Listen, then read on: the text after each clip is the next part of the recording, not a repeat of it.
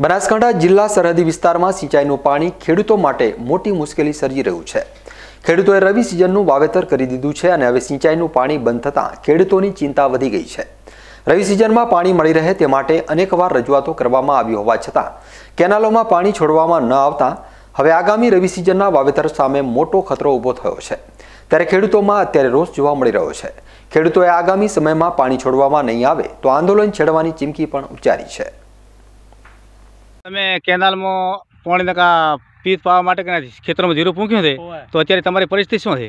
પોણે પોણે કોઈ આવતો નથી મોકલ પડ્યા છે.